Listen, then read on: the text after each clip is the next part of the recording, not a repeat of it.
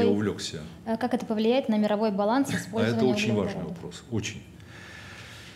Вы глядите, значит, э, да, газ до последнего времени все-таки более региональный, чем нефть. Но он с каждым годом становился и становится и таким мировым уже рынком. Ну, в первую очередь через э, увеличение доли СПГ. Потому что танкера сюда, танкера туда, сегодня пришли, завтра не пришли, цена такая, сякая, все, со всеми, со всеми э, рыночными испытаниями для потребителя, ну и для производителя. Потому что колебания тяжелы для потребителя, но они тяжелы и для производителя. Планировать тяжело. Это вот перекупщики, финансовый капитал, вот это их жизнь. А чистый производитель и чистый потребитель, им нужна стабильность. Это точно. Поэтому баланс считается уже. И вот глядите, э, он пандемией сбит несколько, но я приведу цифры. Они звучали уже, кстати, значит, от, э, у нас уже в прессе, я, по-моему, озвучивал. Не менее 25 миллиардов, называют цифру даже 30, но округлим. Последнюю пятилетку наращивал ежегодно объем потребления газа Китай. И в 2021 году он вышел на 8,5% в балансе газа в энергетике своей. Это немного, но заметьте, как наращивал. Да, последний год, полтора из-за пандемии и снижения э, значит, ВВП, роста ВВП, они остановились с таким ростом, но так или иначе они поставили задачу, и на их месте я бы ее точно так же бы поставил, выйти к 30-му на 15% в балансе. Нужно уголь-то все-таки замещать, у них достаточно серьезные проблемы в отдельных регионах. Как только ты про это говоришь, берешь там, считаешь, получается вообще большие цифры. Беру наполовину, обнуляю. Другие страны смотрю. Я сейчас говорю свои личные цифры, учтите. То я вижу, что в ближайшие 5-7 лет надо миру получить дополнительно 150 миллиардов. С запасом говорю. То есть, в принципе, карандашом, если считать, то будет так эти 300 все.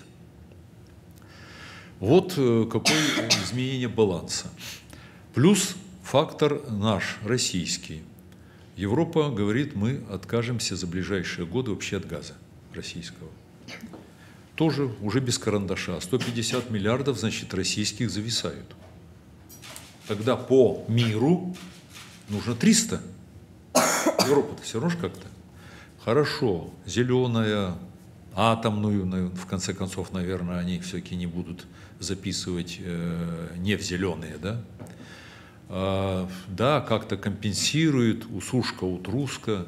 Мы через конечный продукт нашего же газа, э, освобожденного с Европы, как-то ж найдем каналы значит, переработки и поставки в другие регионы. Э, я, значит, с запасом, опять-таки, прочности, а, с очень серьезным, твердо могу сказать, что около 200 миллиардов, ну, точно нужно. А это, извините, не десятки миллиардов долларов, это сотни миллиардов долларов. Это ресурс надо найти, он есть частично, найти, обустроить, танкера построить, СПГ, терминалы, все. Дорогущее удовольствие. Огромное, десятки миллиардов сразу на одном заводе, считай.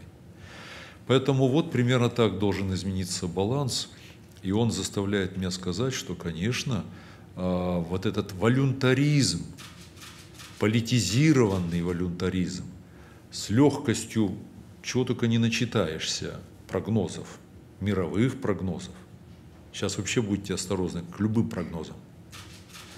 А когда, знаете, сотню миллиардов туда, сотню сюда, что кубов газа, что миллиардов долларов. Как будто это по щелчку. Это делается людьми, которые никогда не делали проекты, которые не знают, что такое западно-сибирский нефтегазовый комплекс, которые не знают, что такое Катар, который вложил огромные деньги, большое время, чтобы стать игроком СПГ. Поэтому баланс вот такой, э, серьезный в изменении, вот в такой я бы проблему в ответе, ответом на этот вопрос подчеркнул.